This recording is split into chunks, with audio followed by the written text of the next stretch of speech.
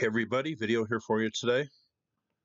Now I found this site when I was doing my last ancient history news video and I thought this was so interesting I would do an individual video on this place. We're going down to Ireland today. This is called the Céide Fields down here. Here's the Céide Fields overlooking it. There is a visitor center down here. We will go take a look around. But what is the importance of this site? Well, it's the most extensive Stone Age monument in the world as far as area, right down here in Ireland. Here's a look at the Céide Fields from overhead. And there was a family living near here, a family of teachers. They were really curious, and if it wasn't for them and their work, their independent work, this place probably would have never been discovered. And a place you can go visit today never would have been formed.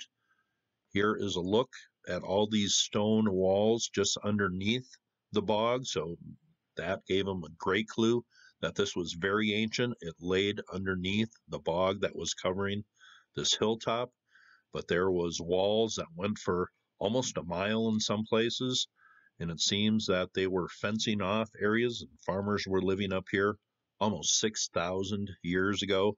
But some pretty cool Neolithic tombs, circular enclosures covered this hilltop.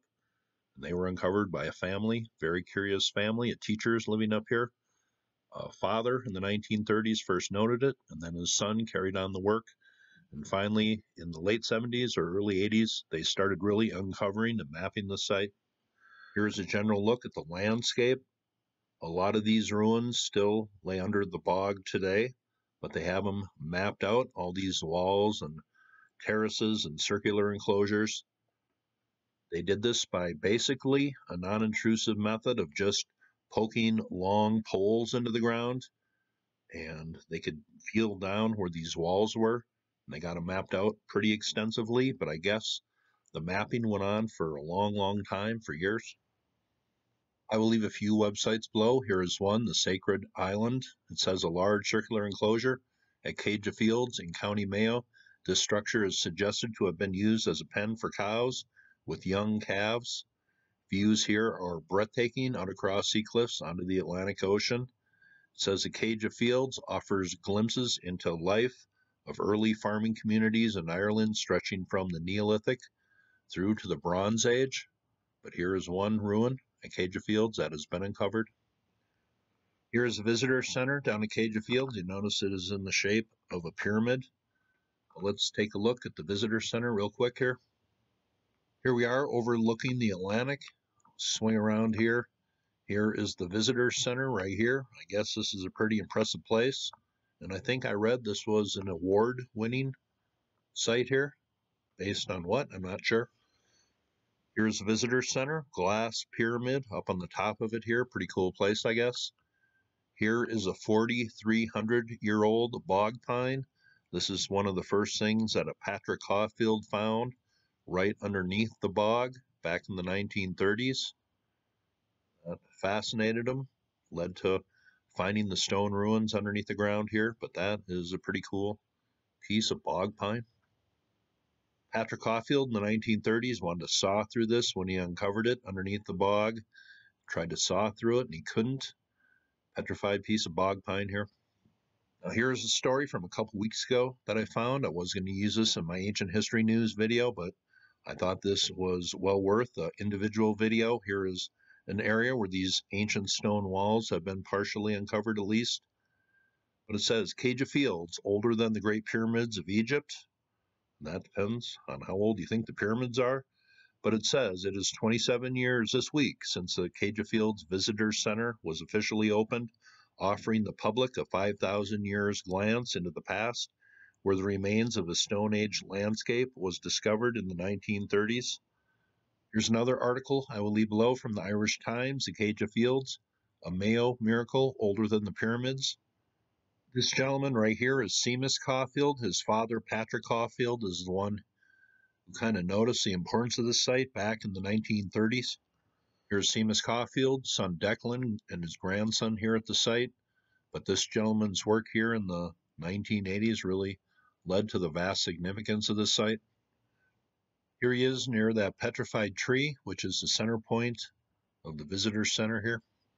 Here's a place where the stonework lies right underneath the bog.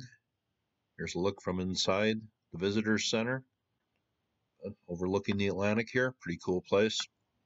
Here's an area where these over 5,000 year old walls have been uncovered. Here is that large petrified tree in the middle of the visitor center here. This down here is what they call the court cairn, a large construction with individual tombs in it. Here is an area. More walls have been exposed. And then here is a large Neolithic tomb at that court cairn. And these are common in Ireland and other parts of the world coming from this time period. One of the websites I'm going to leave below, it talks about a little controversy as far as some of the dating here. Some people have questioned it. But as far as the eye test, does this look five, six thousand years old?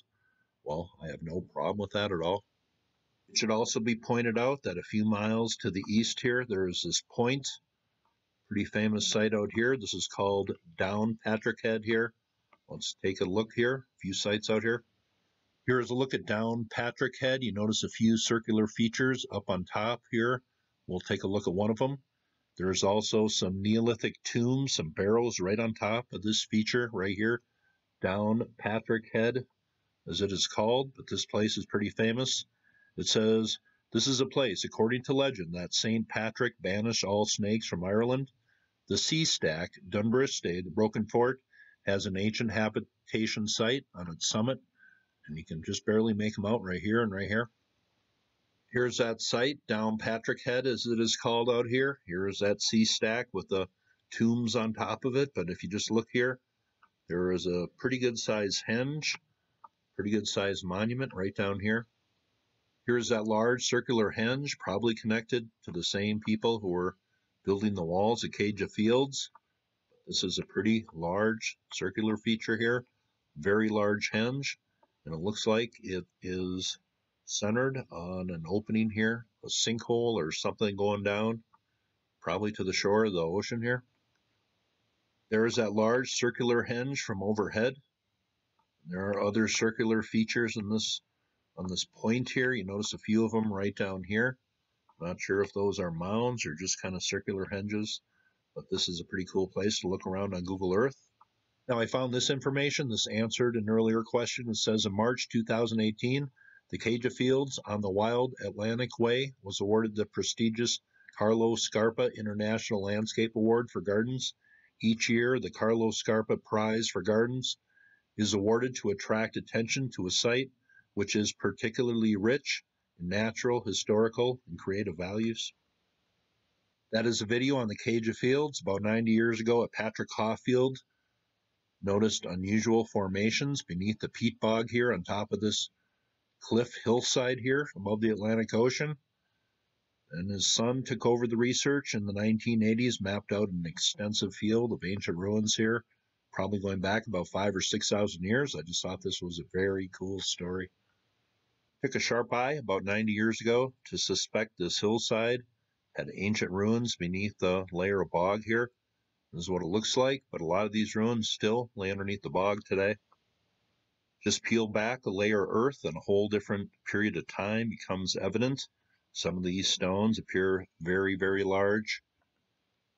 Stone circles, different types of ruins, walls that go for a long, long way, many of them Neolithic tombs. This is a pretty cool story. Glad to share it today. That is a video on the Céide Fields, also down Patrick Head, right nearby. I thought that was a pretty fascinating story. When figuring out ancient history, be as thorough as possible. Look into as many different places and time periods as you can. Helps you form your basis of your opinions on ancient history. That's Ancient Ireland. Hope you thought that was cool. And you all have a very nice day.